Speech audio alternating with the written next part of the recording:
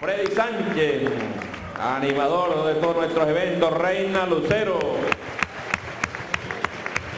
Sol Musé y Consol Ali Primera aquí con nosotros.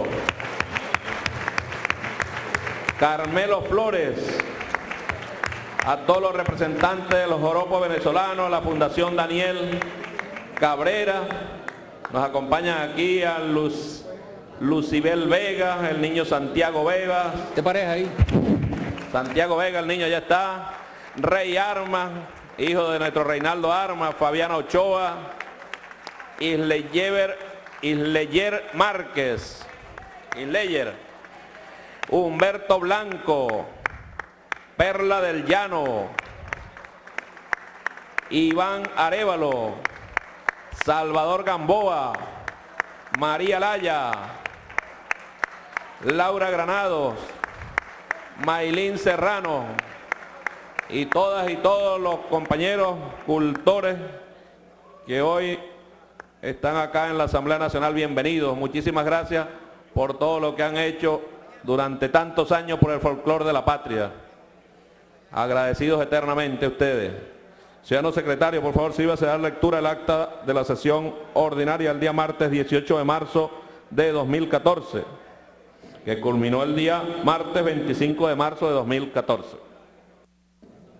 Sesión ordinaria del día martes 18 de marzo de 2014, que culminó el martes 25 de marzo de 2014 bajo la presidencia del diputado Diosdado Cabello Rondón Previo anuncio por Secretaría de la existencia del quórum reglamentario, la presidencia ejercida por el diputado Diosdado Cabello Rondón declaró abierta la sesión con la asistencia del secretario Fidel Ernesto Vázquez, del subsecretario Alvin Junior Hidrobo, así como de los diputados y diputadas que se indican en lista anexa. Seguidamente, la presidencia ordenó a la Secretaría dar lectura al acta de la sesión ordinaria del día 25 de febrero de 2014 la cual fue sometida a votación, resultando aprobada en el punto número uno de la cuenta, la comunicación de la ciudadana Tibisay Lucena Ramírez, presidenta del Consejo Nacional Electoral, mediante el cual remitió la memoria y cuenta del Consejo Nacional Electoral correspondiente al año 2013, de conformidad con lo dispuesto en el artículo 16 de la Ley Orgánica del Poder Electoral. Al respecto a la presidencia, la remitió a las comisiones permanentes de Contraloría y Política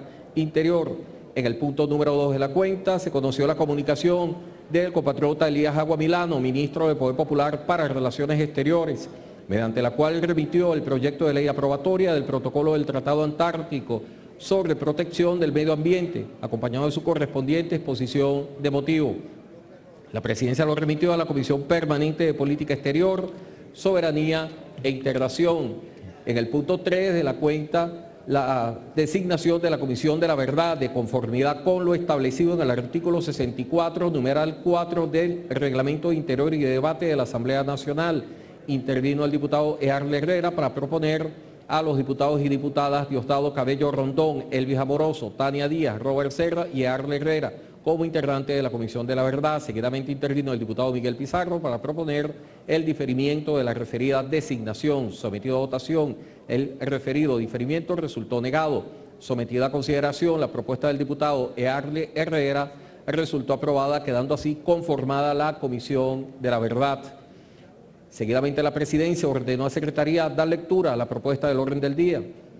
Intervino el diputado Elías Mata para un punto de información en la cual solicitó el estatus de la memoria y cuenta del Ministerio del Poder Popular para la Economía, Finanza y Banca Pública. La presidencia ordenó a la Secretaría remitir la memoria y cuenta del referido ministerio a respectiva comisión. Posteriormente intervino la diputada de Yalitza Aray para proponer la incorporación en el orden del día de un punto referido a la presunta crisis económica que padece el país.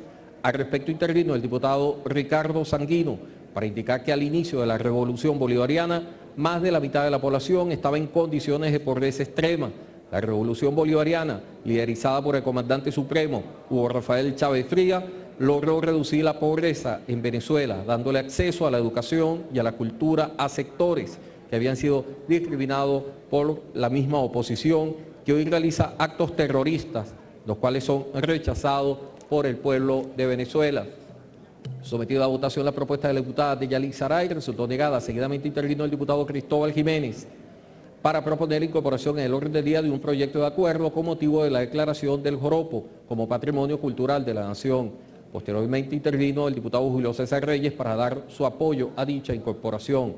Sometido a votación la propuesta del diputado Cristóbal Jiménez, resultó aprobada. Intervino desde la tribuna de oradores la diputada Tania Díaz para una moción de urgencia en la cual presentó evidencia y solicitó la investigación para llegar al allanamiento de la inmunidad parlamentaria de la diputada María Machado. Sometido a votación la solicitud de la diputada Tania Díaz, en la cual se solicita el allanamiento de la inmunidad parlamentaria de la diputada Machado, resultó aprobada. La presidencia sometió a consideración dirigirse inmediatamente a la Fiscalía General de la República para consignar esta solicitud de investigación. Sometido a votación, resultó aprobado. La presidencia suspendió la sesión en concordancia con el artículo 27, número 4 del Reglamento Interior y de Debate de la Asamblea Nacional. Se reanudó la sesión ordinaria el día 25 de marzo de 2014, previo anuncio por secretaría de la existencia del quórum reglamentario bajo la presidencia del diputado